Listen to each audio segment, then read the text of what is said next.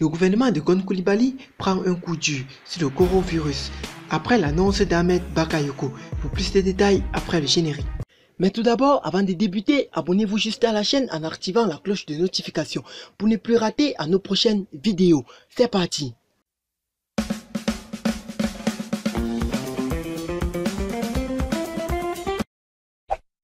La situation sanitaire en Côte d'Ivoire est en train d'atteindre une dimension inquiétante, vu le nombre de cas qu'atteint ce 6 avril.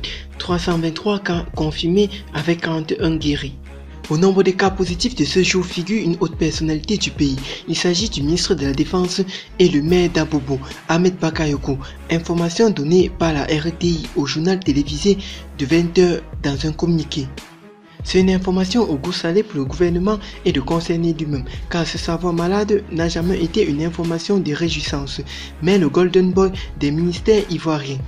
Connaître son mental d'acier aura les ressources nécessaires pour tenir sa quarantaine et surtout rejoindre l'équipe gouvernementale avec la santé retrouvée dans un meilleur délai. D'ailleurs, il convient de rappeler que le Premier ministre Amadou Gon Koulibaly a repris le service ce lundi 6 avril 2020, après une période d'auto-confinement.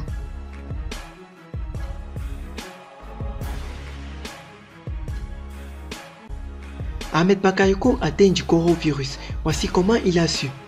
La nouvelle vient de tomber. Ahmed Bakayoko est atteint de la maladie à coronavirus. Il a lui-même annoncé ce jour après avoir été mis au courant par son médecin.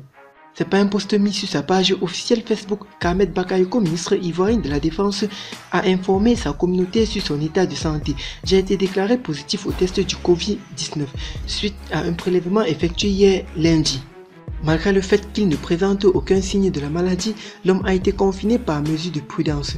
Bien que ne présentant aucun signe de la maladie, le médecin a prescrit un confinement auquel je me suis immédiatement soumis. Conscient de son état, M. Bakayoko a tenu à interpeller sur l'importance du respect des mesures mises en place pour éviter d'être contaminé. C'est l'occasion pour moi de rappeler à tous nos concitoyens que le coronavirus est une maladie réelle qui se propage très rapidement. Je vous exhorte à prendre au sérieux l'observation de toutes les mesures barrières pour vous protéger et protéger les autres. Prenez soin de vous.